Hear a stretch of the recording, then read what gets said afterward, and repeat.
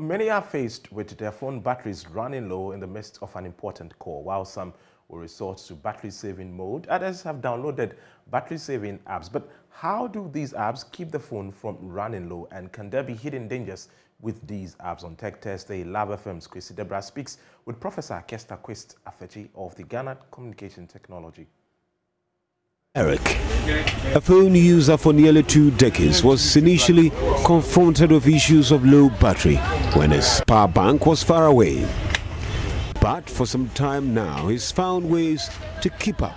When uh, it goes down, or maybe it is going down, you have, let me say, only two options to either reduce your uh, power consumption by the apps uh, or you can use ultra battery battery saver which will uh, give you options to use uh, apps that do not require uh, uh, the battery being drained Samuel, however, opted for an app.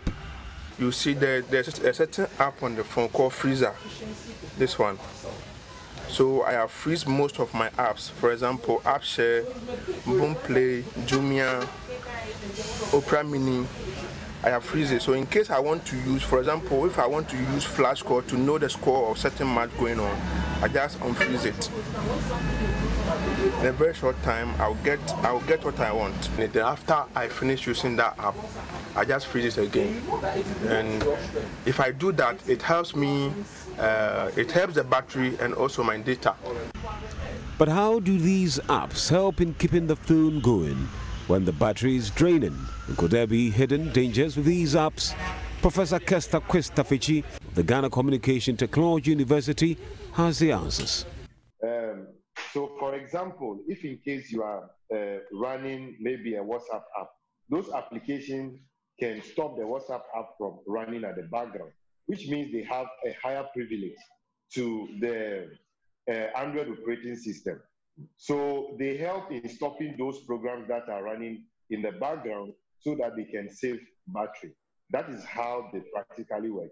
So we have a lot of people that take advantage of developing those applications and use it to have access to different levels of the application and also of the Android operating system and use it to do so many things.